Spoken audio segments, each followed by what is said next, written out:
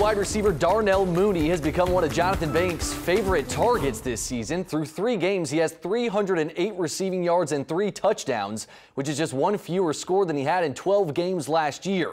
But for a closer look off the field, we walk 100 yards with Mooney. All right, here with Tulane wide receiver Darnell Mooney.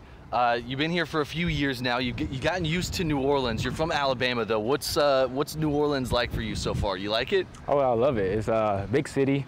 Uh, you never know what it, what every day is going to be like. It's exciting. There's a lot of like karaoke spots here, whether you you know go down to Bourbon Street or in the quarter or whatnot. Like if you, if you had a go-to karaoke song that that you got to play whenever you go, if someone called you up on stage, what song are you going with? Uh, praise in advance. Who's it's, that by? It's a gospel song. Okay. By Marvin Sapp.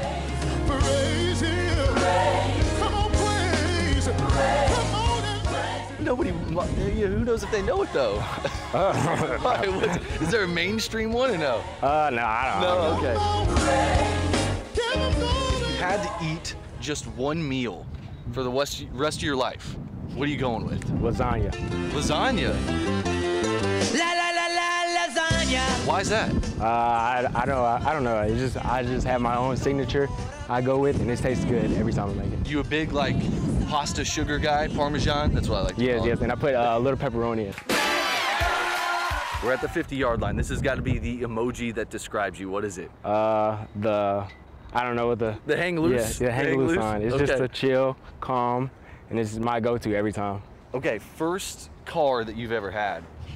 Um, my Is- first car, Yeah. uh, Impala. Did you have a name for it?